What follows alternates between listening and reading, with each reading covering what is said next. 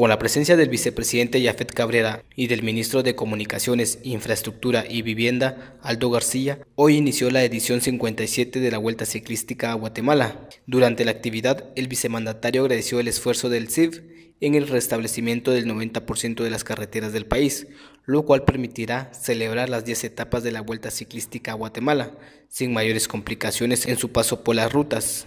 Cabrera dio el banderazo de salida de la Vuelta a Guatemala, donde 99 ciclistas nacionales y extranjeros buscarán coronarse campeones.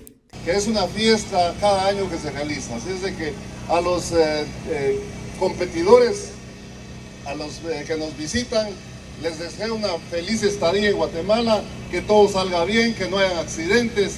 Afortunadamente, como ya dijo el señor ministro, las carreteras logramos establecerlas, restablecerlas para las etapas fundamentales de la vuelta. Así es de que deseamos que gane el mejor. Para que se pudiera llevar a cabo esta 57 vuelta y el reto de tener todo en orden, o por lo menos una buena parte, que yo creo que supera el 90%.